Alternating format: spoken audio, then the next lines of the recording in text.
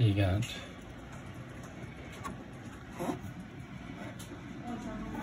two little plastic rails right there. And they literally snap on the right,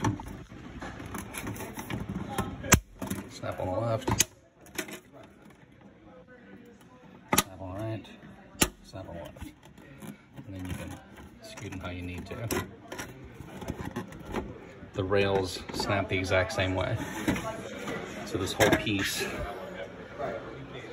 they just snap on the front, snap on the back.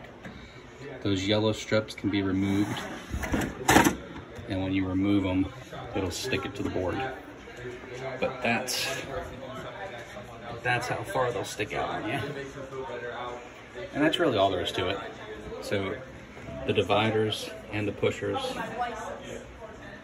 are movable and you just kind of move them along the track line so you can space them out for, you know, if you got a bigger KitKat or something of that sort.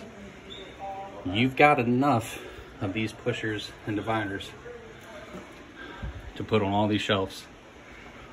All that I did was I took one of the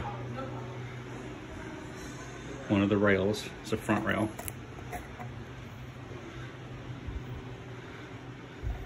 And I just cut it to size. So it would fit in there just like that.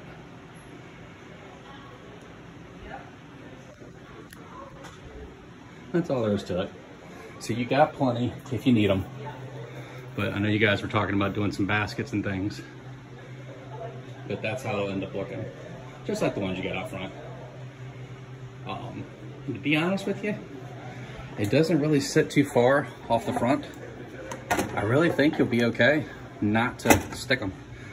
Because the one thing that's nice when you don't remove these stickers is you can pull this whole thing out even when it's full of product. Clean underneath of it, cleaning the gaps. So it's a lot easier to clean if you don't stick it down. But that's it fellas. Sorry it took me so long to get here.